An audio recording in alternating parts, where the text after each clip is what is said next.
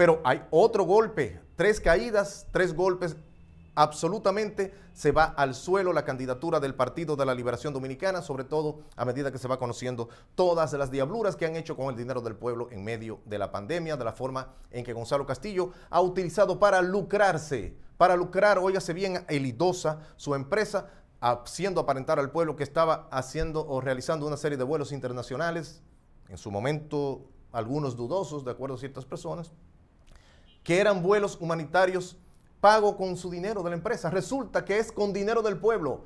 En tres meses, óigase, si ha hecho 30 vuelos, que no creo que lleguen a 30 vuelos, estamos hablando que sale a 2 millones por vuelo. Hay que buscar cuál es el costo operacional por hora de esos aviones, porque esto es algo horroroso. Descubrir que con dinero del pueblo fue que Gonzalo Castillo utilizó eh, precisamente la pandemia para hacer campaña con dinero del pueblo y abrogarse 55 millones más a su empresa privada.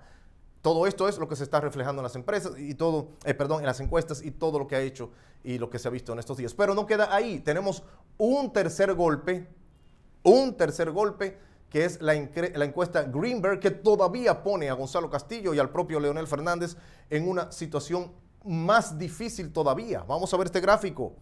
Y yo no estoy aquí para decir que una es más creíble que la otra. Yo estoy simple y sencillamente limitándome a colocar en pantalla los datos a compartirlos con ustedes. Bueno, pues en la encuesta Greenberg, Luis todavía se consolida de una forma más poderosa con un 56% en primera vuelta, Gonzalo Castillo en un lejano 29%, Leonel Fernández 12% y Guillermo Moreno con un 1%. Este es el tercer golpe que manda a Gonzalo Castillo a la lona.